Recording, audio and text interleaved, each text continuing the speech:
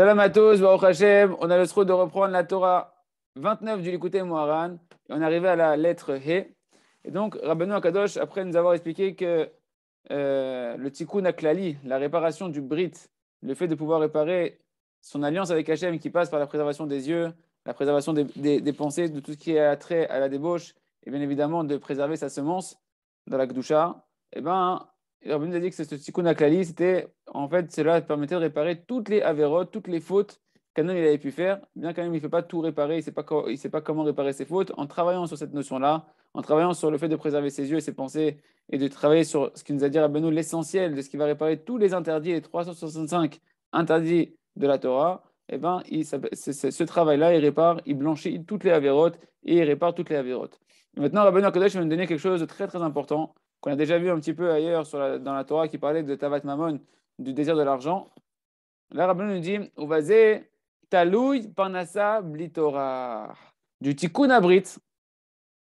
De combien une personne elle va, en fonction de combien une personne elle va s'investir à travailler ses yeux, ses pensées, et de prier dans son cœur, de prier, travailler ses volontés, d'étudier le sujet, de faire tous les jours teshuva sur le tikkun abrit, sur la réparation de l'alliance avec Kadosh Baruch À ce moment-là, de ça, ça va dépendre combien tu vas galérer ou pas au niveau. Attention, on ne parle pas de la quantité d'argent que tu vas recevoir, on parle des efforts, du Torah.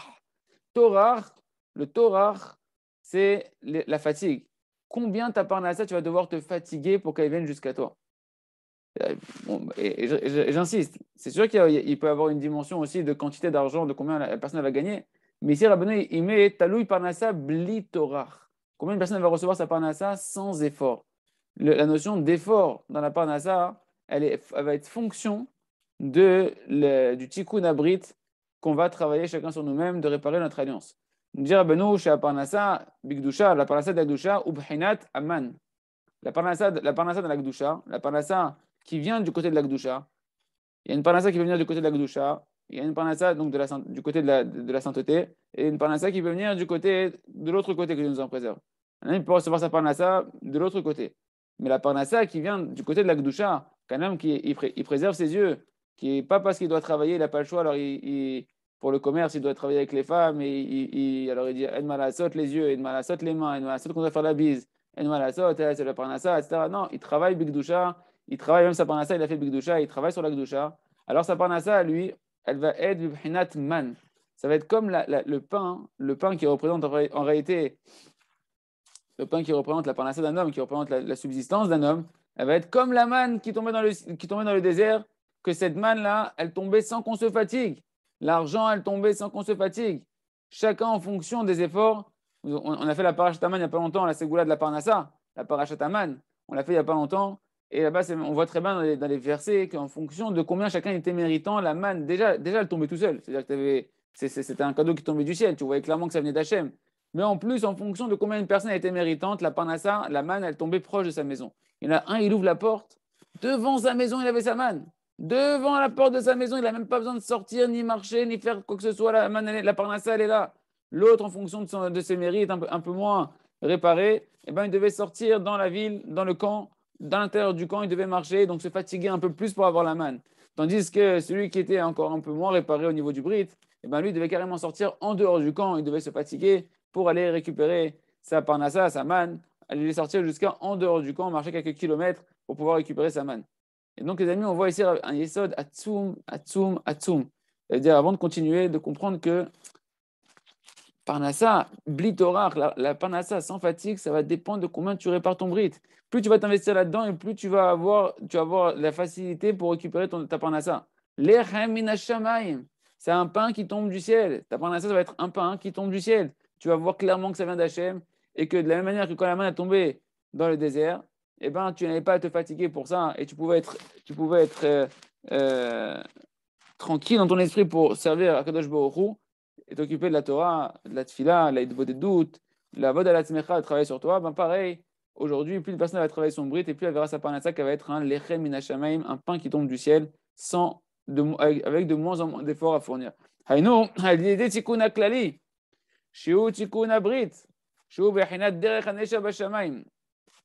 Comment tu vas faire ça? Par la réparation du brit, la réparation qui est le tikkun aklali, qui répare toutes les interdits. Rappelez-vous que ces interdits-là, qu'est-ce qu'ils faisaient? Chaque faute que Dieu, nous préserve que l'on fait, elle entraîne sur nos vêtements une tâche, une tâche qui va être comme la femme Nida, que la femme Nida, elle, est excommuniée, elle excommuniée, mais elle est, elle est éloignée de son mari, elle va être obligée de s'éloigner de son mari, et son mari va s'éloigner d'elle. Entendu, c'est une séparation entre nous et Akadosh Baruch Plus une personne il a des avérotes qu'il n'a pas nettoyé et qu'il a des taches sur ses vêtements, qui sont les 365 commandements négatifs qu'une personne peut faire, peut transgresser, que Dieu nous en préserve, plus il va être, il va être mis en état de nida et se retrouver éloigné d'Hachem. Et sous-entendu, la bracha, elle va être beaucoup plus masquée et il va falloir beaucoup plus se fatiguer pour avoir la bracha, pour avoir la parnassa. Une personne qui va réparer tikkun aklali, à l'aider tikkun aklali, une personne qui va réparer la globalité de toutes les fautes, donc de toutes les tâches qui rendent, qui rendent le, la, en, dimension de nida, en dimension d'impureté, et qui va nettoyer toutes ces tâches-là, parce que chez Tikunabrit, parce qu'il travaille la réparation de l'alliance, de la proximité avec Hachem. Ikar et Karvout, la Kadosh Baruch on a dit hier, l'essentiel du rapprochement d'Hachem, c'est le Tikunabrit. Tu travailles essentiellement Tikunabrit, tu te rapproches d'Hachem, tu es proche de la source de la bracha, la bracha va venir facilement. Et c'est la dimension du chemin. C'est marqué dans Michelet, chapitre 30, le chemin de l'aigle, il se fait dans le ciel. L'aigle, son endroit où il navigue, c'est dans le ciel. Or, Rabbeinu vient de nous parler de quoi? Que la parnassa blitorar, la parnassa sans fatigue. ça, ça, ressemble à quoi? À la manne. Or, la manne, c'est un lechem minashamaim, c'est un pain qui est du ciel. Or, qu'est-ce qui est dans le, dans ciel? C'est l'aigle. On vient de voir dans Michelet que c'est le, l'aigle, il navigue dans le ciel. Donc, le pain sans, fatigue, il est orienté par le pain qui vient du ciel. L'aigle, lui, il vole dans le ciel. Or, on a déjà expliqué que l'aigle, il représentait quoi On va le revoir encore ici, mais on avait vu ensemble déjà dans, la, Torah euh, au, préalable que l'aigle, il, représentait le tikkun abrit. Et donc, plus une personne va dans le tikkun abrit, et plus ça peint, et, donc plus il va dans la dimension de l'aigle qui est dans le ciel, et sa parnassa va venir directement du ciel comme la manne avec facilité. et je réinsiste, facilité, ça veut dire que normalement, tu ne dois pas y passer beaucoup de temps à te casser la tête dessus. C'est-à-dire que ça va devenir de plus en plus facile. Tu, viens, tu récoltes et tu retournes aller servir Hachem. Veze ve'aman kizra gad hu. Et c'est ça le sens que c'est marqué à propos de la manne, que la manne a été kizra gad, comme une, comme une graine qu'on appelait gad. Euh, quand on regarde dans les commentaires, il y en a qui ça ressemblait, c'était comme, comme elle avait une forme ronde, comme il dit Rashi, comme euh, là-bas, il ramène comme du cosbor. je ne sais pas si le cosbor, c'est une forme ronde, en tout cas, Kizra Gad, c'était une, la manne ressemblait à une petite graine comme ça qui s'appelait Gad. Et le Zohar, il nous dit sur cette, sur cette, euh, cette appellation de la manne, pourquoi la manne, on l'appelle Zera Gad, une graine, une semence, Gad qui s'appelle Gad. Zera Gad, il nous dit le Zohar dans Bamidbar, Yudalef, Zera Gad Datipa Chivarta. Cette petite cette graine ronde, eh ben, ça représente en réalité la, la goutte, la goutte, Ken, et Zera, c'est la semence, donc la goutte de semence qui a une couleur blanche qui provient du cerveau. Comme on a dit dans le Zohar, c'est marqué que Venozlim, elle coule du Liban. C'est quoi qui coule du Liban? Ce sont en réalité Minlibuna de Moha. On a dit que c'était de, la blancheur du cerveau.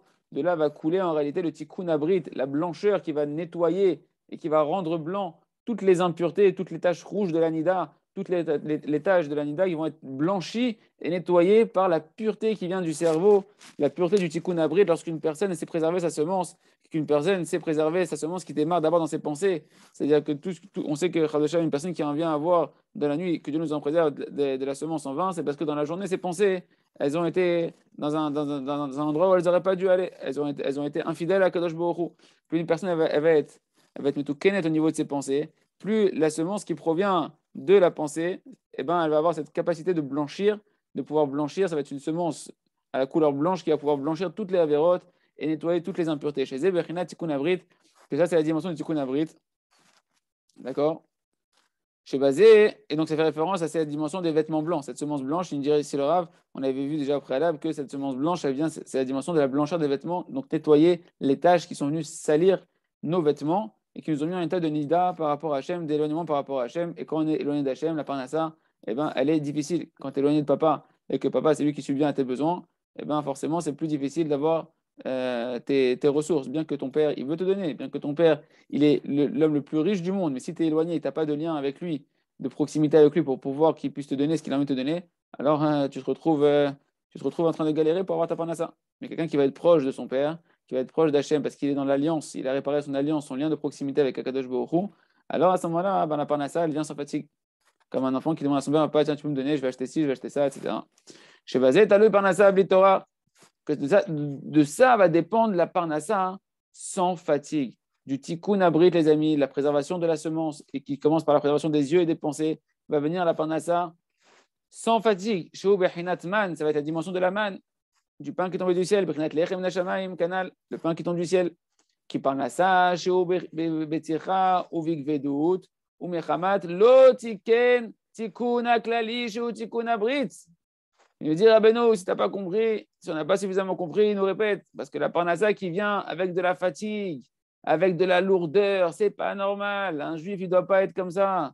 Un juif, normalement, mes amis, il doit pas être en train de se fatiguer et d'avoir de la lourdeur de la parnassa matin et soir, soir et matin. Il pense à la parnassa et comment je vais faire, qu'est-ce que je vais faire, etc.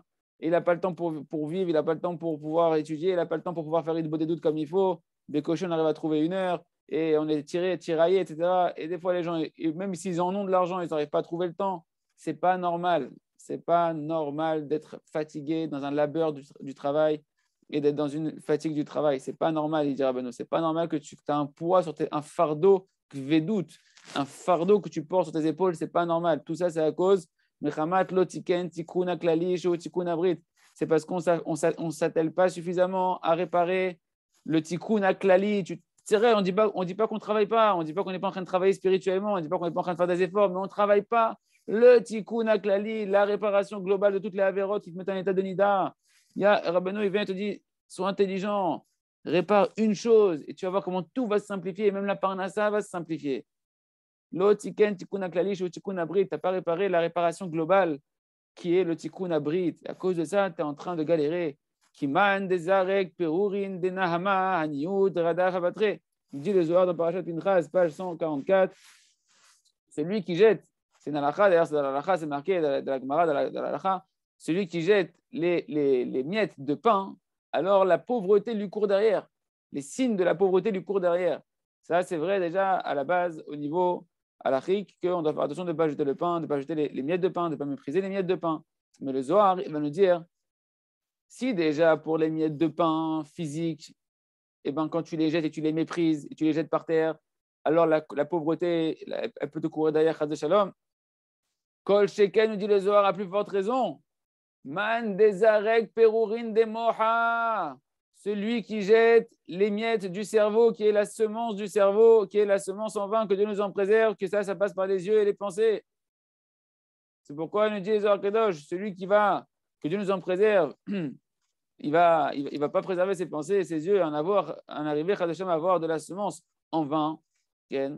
Alors, c'est ce qu'il est en train de jeter les, graines de pain. Il est en train de, jeter les graines de pain, de les mépriser, la semence du cerveau.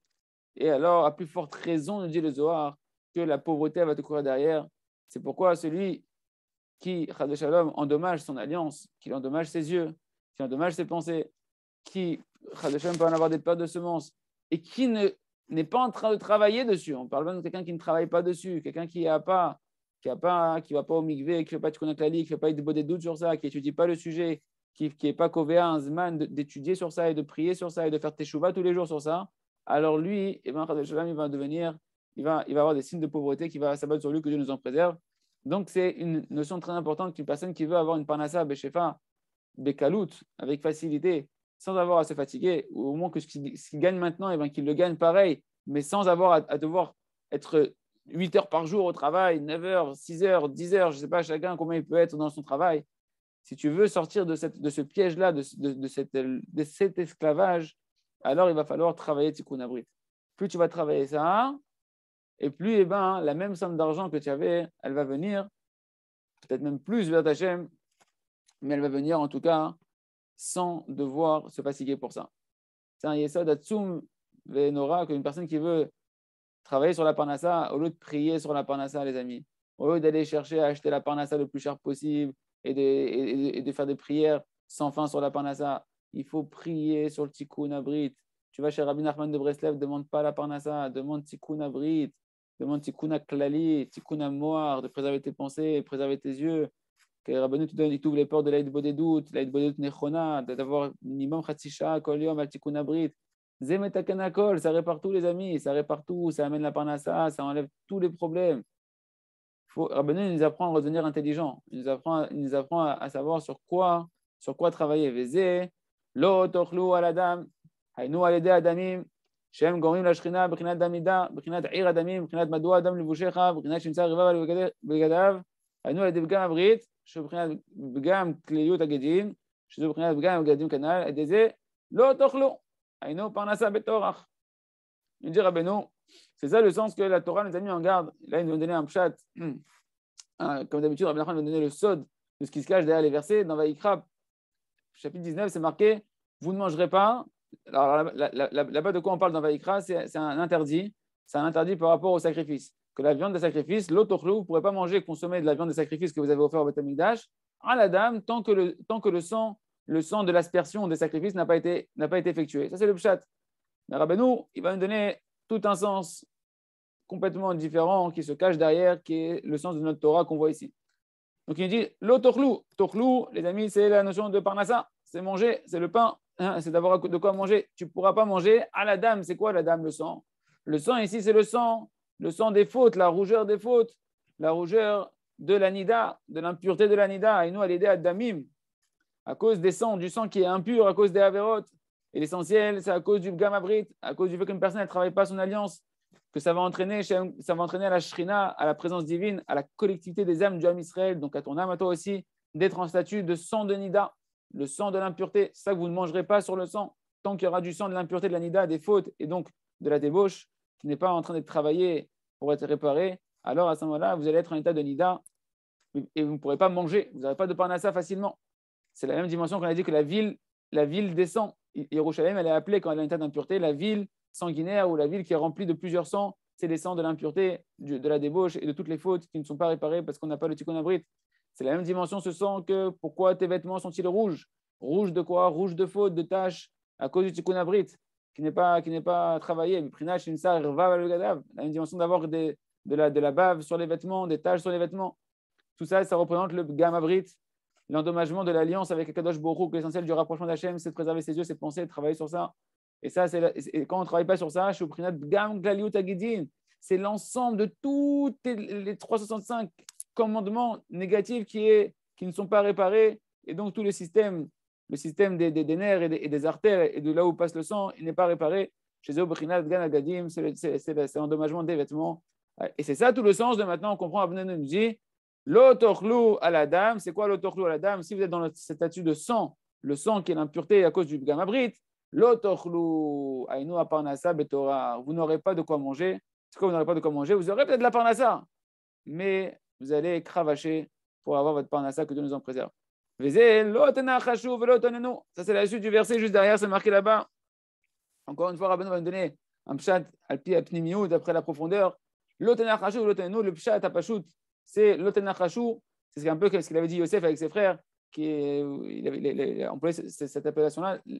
Tenachashu, ici, c'est vous n'allez pas aller d'après les signes, vous ne devez pas fixer votre vie d'après des signes, des superstitions, etc. Et nous c'est vous n'allez pas non plus fixer votre vie d'après des périodes, les onotes, les onotes, c'est des périodes, c'est des moments, sont entendus, ouais, aujourd'hui c'est un jour qui est propice à ça, et, ce jour-ci il est propice à ça, etc. Tout ce qui est un peu chez les les superstitions des on ne doit pas aller dedans. Maintenant, Rabbeinu va donner un, autre chat, c'est la suite du verset qu'on a vu avant, que la parnassa, si, vous, si vous êtes dans, le, le gamabrit, vous n'aurez pas la parnassa facilement, elle deviendra difficile.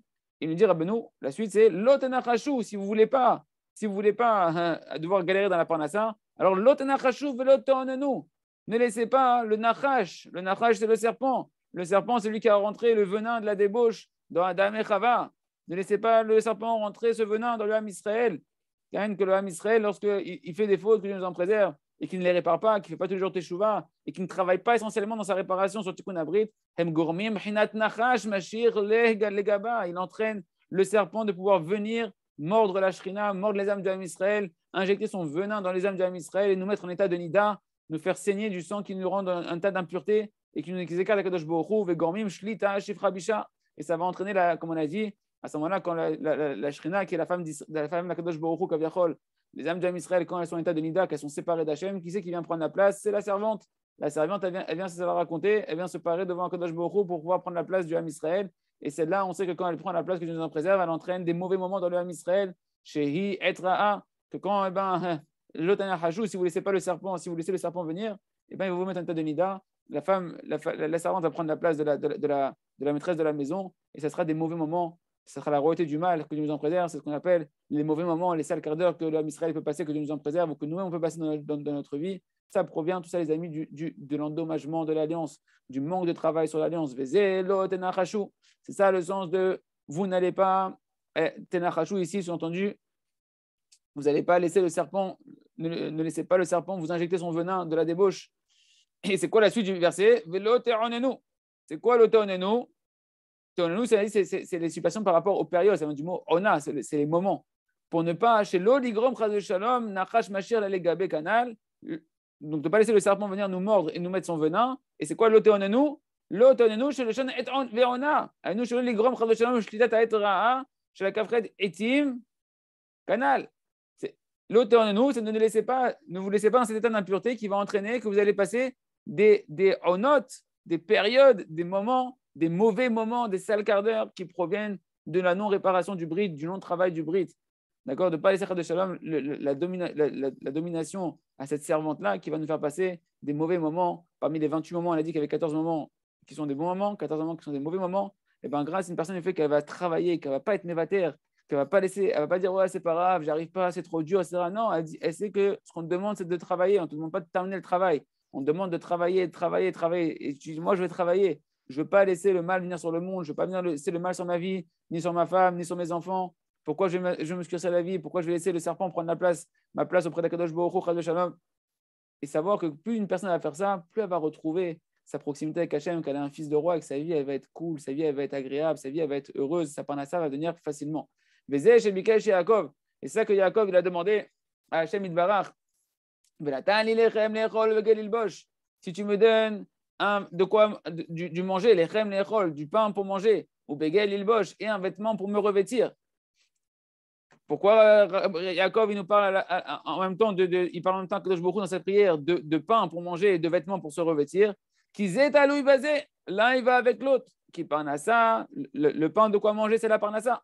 La parnassa là-bas, c'est pour avoir de quoi manger, les amis. C'est pas pour avoir des Ferrari. C'est pour avoir de quoi manger, d'avoir de quoi nourrir sa famille et ses enfants et de pouvoir étudier la Torah.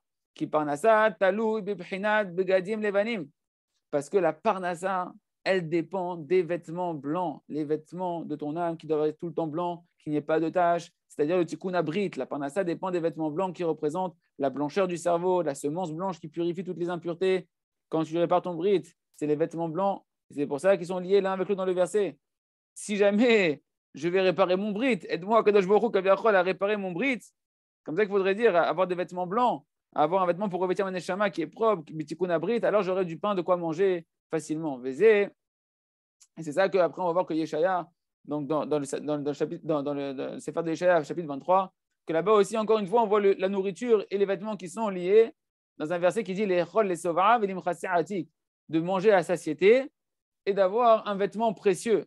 Pourquoi? Parce que justement, cette notion de manger à satiété, de ne pas avoir de faim, de famine à l'intérieur de soi, de faim, d'absence de, quoi combler tes, besoins matériels, etc., donc d'avoir de la parnassa, de la parnassa bekalout facilement, eh ben, ça va dépendre du fait que tes vêtements ils vont être précieux, sont entendu qu'ils vont être propres, qu'ils vont être réparés, c'est-à-dire le tikkun abrit, par le tikkun abrit. Yaakov, Shemshir, Aluni, Bibrinat, Marsa Vanavan, תיקון הכללי, כמו שכתוב, ראשית עוני נאמר בו, יושב אוהלים, היינו מבחינת שמיים, כמו שכתוב, ומתחם כל לשבת, היינו מבחינת דרך הנשע בשמיים, מבחינת זוהר הרקיע, מבחינת לשון של זהורית, שמלבין אבותיהם ודעים של ששה גידין, מבחינת אם ידימו כתולה וחצמיה יהיו.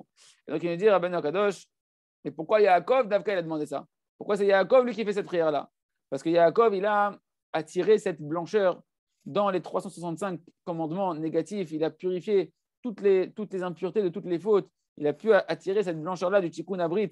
Pourquoi? Parce qu'on voit que Yaakov, quand il a dû ruser avec la vanne pour récupérer ce qui lui appartenait, ses troupeaux, son, salaire, etc. Il a fait ce qu'on appelle Marsof à la vanne, il a pris ce, fameux ce, bâton qu'il a, qu'il a entailladé, qu'il a commencé à éplucher. Et au final, il, s'est marqué là-bas que Marsof à la vanne, il a fait les entailles, elles ont créé qu'il y avait plus de blanc que de rouge dans le bâton. Le bâton était devenu blanc tellement on avait enlevé l'écorce du bâton. D'accord? Et donc, c'est cette dimension de faire dominer le blanc sur le rouge, c'est-à-dire de pouvoir nettoyer, de faire dominer le tikkun abrit, qui est la blancheur, qui est, d'ailleurs, quand, on fait des côtes pour la nida, pour la femme nida, on doit prendre un vêtement qui est blanc. Le vêtement, il doit être blanc et c'est sur, ce vêtement blanc qu'on va voir s'il y a une tache qui apparaît ou pas qui va rendre la femme impure. Eh bien, Yaakov, celui qui savait de faire dominer le blanc sur le rouge, c'est-à-dire de pouvoir blanchir toutes les taches, toutes les impuretés, de, réparer son bris de que quand tu travailles ça, tu répares toutes les impuretés.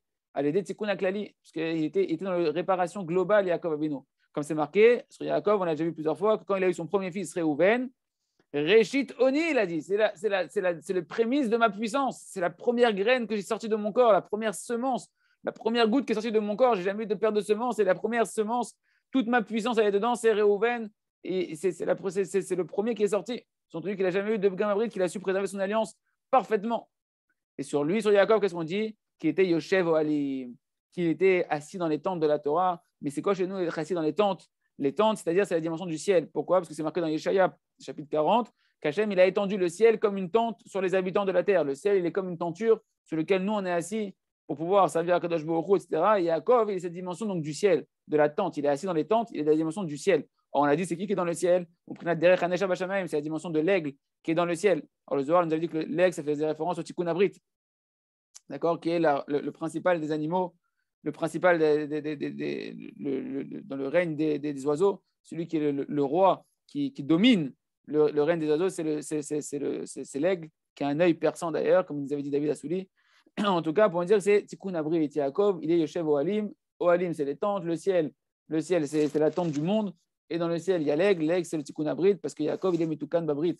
Biprinat, comme c'est marqué, Zohar Arakia, l'éclat du, du, ciel ou du firmament, et cet éclat du ciel qui reprend le tikkun abrit, cette blancheur du ciel quand il fait beau, etc., l'éclat du, firmament, c'est Brinat, le Zéorit, Zohar Arakia, c'est l'éclair du ciel, Zohar, c'est l'éclat, et c'est le même langage que cette fameuse langue de laine qui s'appelle chez Zéorit, cette langue de laine, de, de laine rouge que l'on mettait au Beth Amikdash pour, rouge qui, qui, représentait les fautes de tout l'âme Israël durant toute l'année, qui allait blanchir par le, par le tikkun abrid que le tzaddik, le Kohen Agadol, il allait opérer pour l'âme Israël. Chacun il va nous aider à faire teshuva, le tzaddik, et, pouvoir réparer son brit et faire blanchir cette langue rouge qui représente toutes nos fautes, la rendre blanche, transformer les fautes en mérite.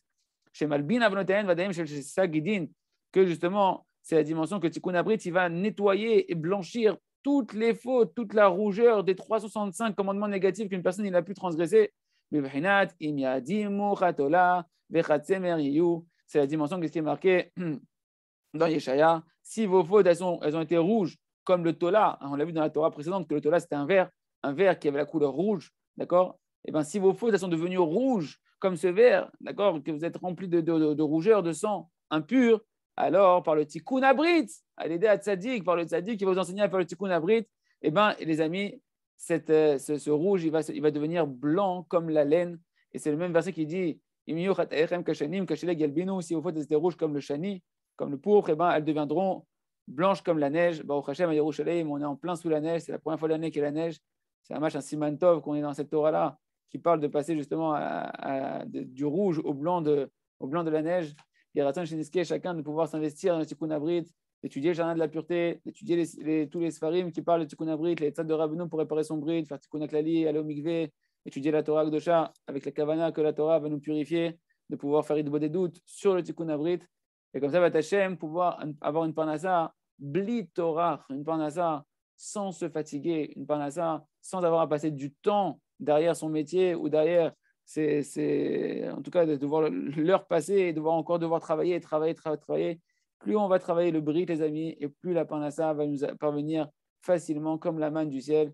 Shinske Kolze, Chazak, Ve.